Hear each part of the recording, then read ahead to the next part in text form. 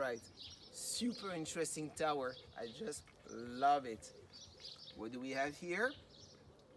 Chinese beans for my stir fries. But come around.